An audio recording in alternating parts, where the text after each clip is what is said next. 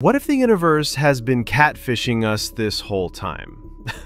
well, the Webb telescope just called it out, and now space has some serious explaining to do. Scientists are officially baffled.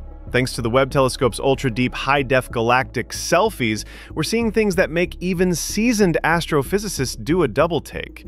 Galaxies are popping up where they shouldn't be, cosmic timelines are bending like pretzels, and theories we've clung to for decades, like dark matter, dark energy, and the sacred story of the Big Bang's microwave afterglow, are suddenly looking wobbly. In short, we might need to rewrite the universe's autobiography. Andrei Kutso from Lawrence Berkeley National Lab summed it up perfectly. We thought we were just taking notes. Turns out, the universe is improvising, and it's a lot messier than we expected.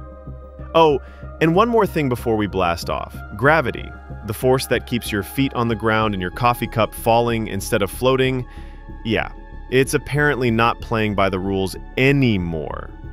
Let's break it all down, laugh through the cosmic confusion, and maybe, just maybe, figure out what in the multiverse is going on.